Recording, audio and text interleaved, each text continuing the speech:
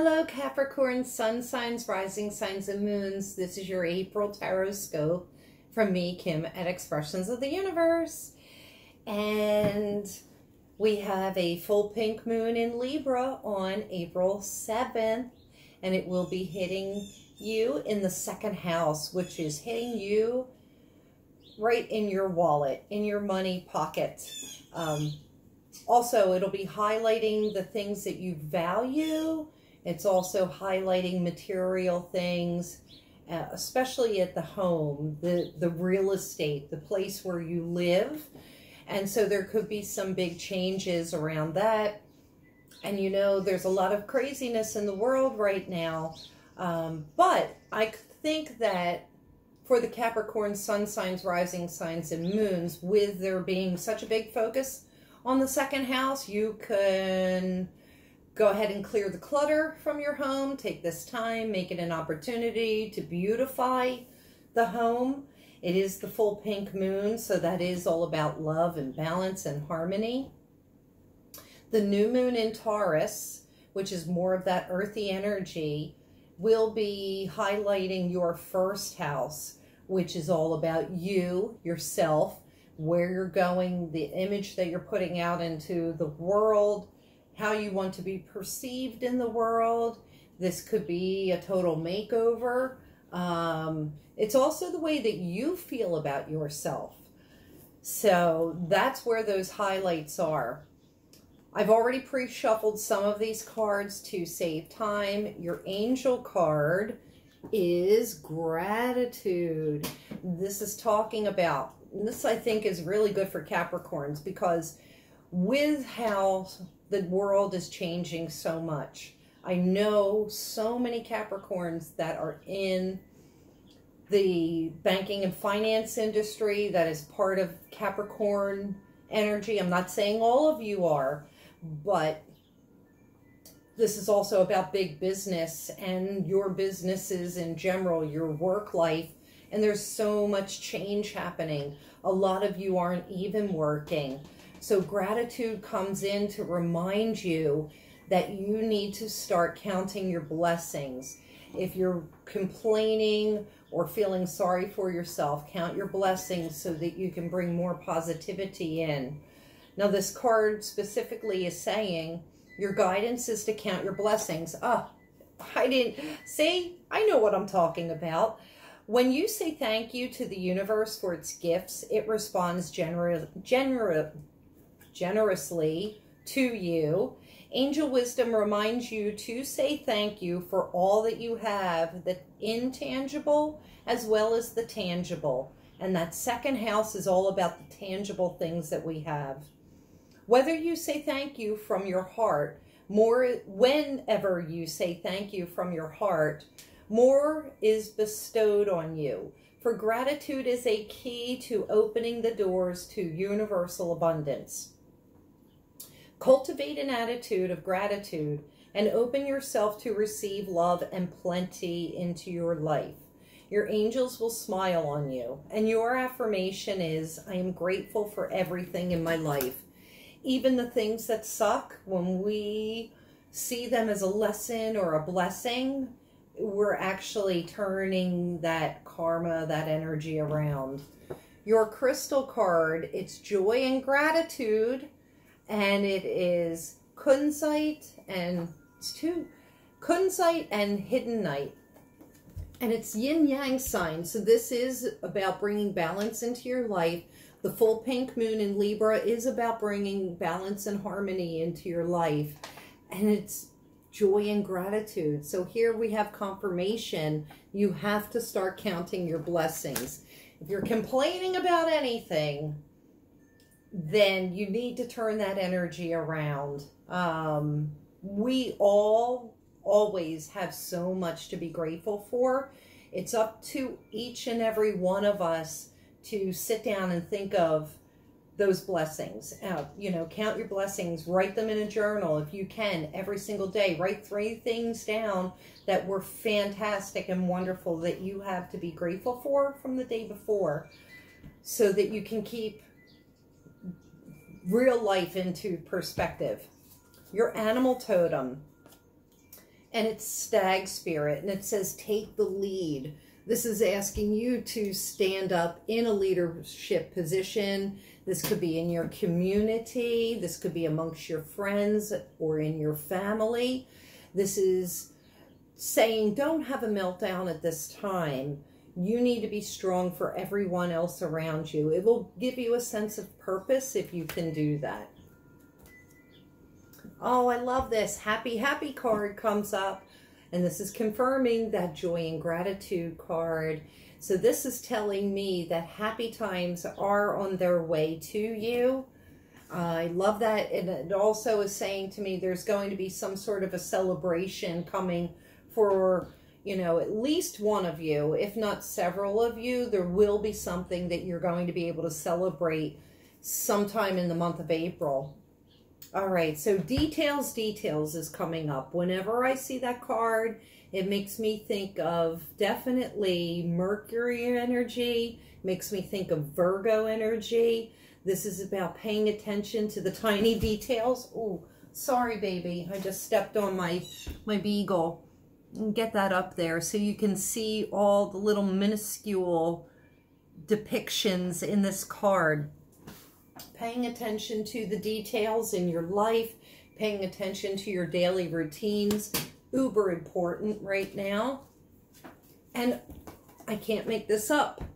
The deer. This is also, it's just like that stag. This is talking about quiet leadership. So you're getting a double dose of this. So that's just even further confirmation. This deer talks about quiet leadership, quiet power, um, gentleness, and diplomacy. All right, let's see what the planets have to say for you guys. So you'll have to comment me, you little you little mountain goats or sea goats, depending on which which that is you are. Doesn't even make sense. Um, let me know how you're doing out there. I know everybody's really going through a difficult time. All right, so we have the ninth house. We have Mercury. That was those details. We have Mars, which is ego and stubbornness. The ninth house is about having faith and Sagittarius energy, which is also ninth house energy. So this ninth house, so we have fire, fire, fire that is fed by air. So you know air feeds a fire.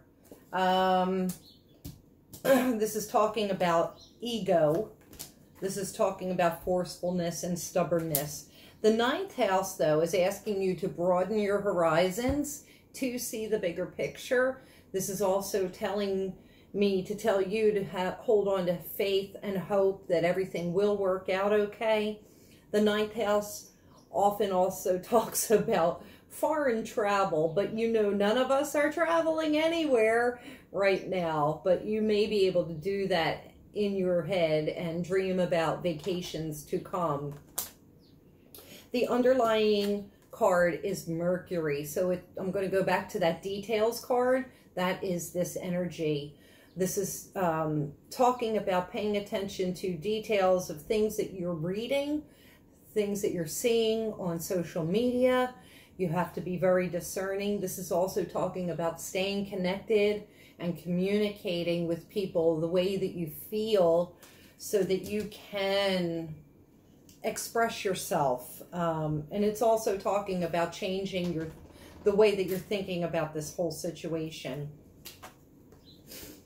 the Mars card is coming up to remind you that in the past, this is what held you up.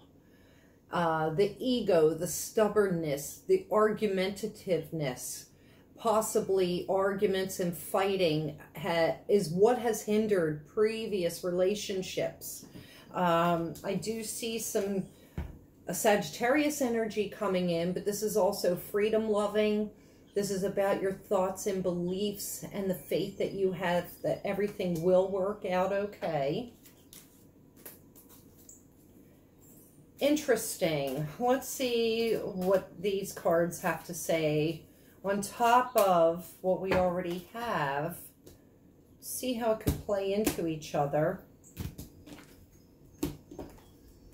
All right, so on top of the ninth house card, we have more Gemini, I think. That's going perfectly with that Mercury card and also confirming to me that a lot of Capricorns need to expand their thinking, seeing a bigger picture.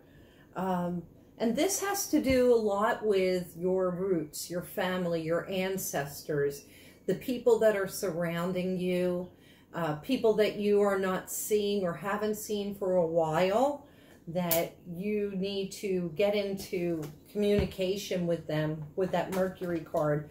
Touch base with your family and your friends. Um, you know, just a quick phone call or a text or, you know, whatever means, an email, just to touch, check in with them and make sure that they're all okay. So we have a grand trine full of blessings that are coming through. And given the color of that air card. This is talking about a grand trine and um, when it comes to our thoughts and our communications. And this is asking you at this time to start thinking differently, speaking differently, communicating differently. Now on top of the Sagittarius card, we have the 12th house and, and it's escape. So this is talking about not wanting to deal with these problems, not wanting to deal with maybe a Sagittarius directly that could be causing you problems or not wanting to get into arguments. So you're going to run away from and avoid that situation. This is also talking to me about past life wounds that need to be filtered out during this time, filtered out during the phases of the moon I'm going to show you that. Um, this is also saying that you've been too isolated and keeping yourself away from people in an avoidance type of situation. And if you're not dealing with this, which I'm picking up family members, um, that's going to be part of your karma that you're just going to continue. This is a time where you need to be clearing out your karma paying back past karmic debts. Just because you don't want to deal with a situation or you're avoiding it doesn't mean that you just get to walk away from the situation is what I'm hearing. Um, because with that 12th house, if you're going to act like an ostrich with your head in the sand, just because you're avoiding it doesn't mean that it's ever go it's not going to go away you will have to pay the piper at some point. All right, and your final cards.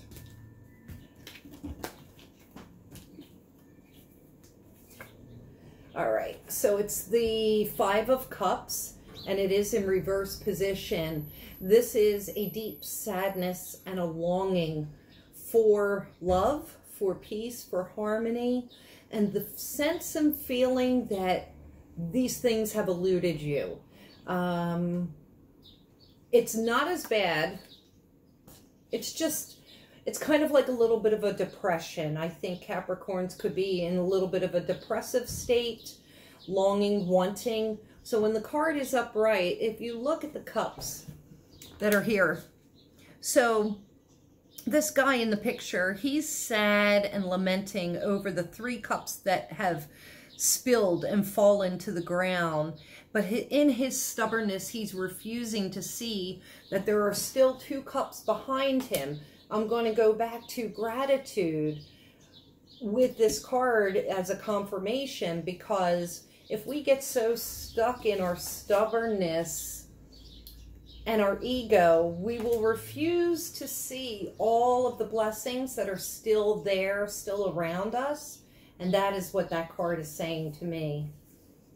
The next card, the underlying situation with Mercury of communication, the fourth house of roots, ancestors, family, friends. It is the Ace of Cups. So this is new beginnings of love. This is new, renewed sense of love in your relationships around the home. And I love that. So this is saying something really fantastic is coming your way And your change of mind, your change of your perception and your thoughts would be opening you up to that. All right, the star. One of my favorite cards in any tarot deck is saying hold on to hope, hold on to faith, because there is so much still shining down on you. I love that. And then your final, final card that is coming up. It is the Six of Wands. And this is saying that there is a victory that is imminent. You will win. It will be a win-win situation. You will finally get what it is that you want and that you have been longing for. It's coming. I don't know when, but it's coming. So if you liked this video, please share it with your friends comment me, show me some love. Uh, be sure to check me out on Facebook, Instagram, YouTube, Twitter, Pinterest, and my website at expressionsoftheuniverse.com. And when my head comes up here, if you're not subscribed already, go ahead, click that, subscribe to my channel, hit the bell so that you get notifications of future videos. Until next time, bye little goats.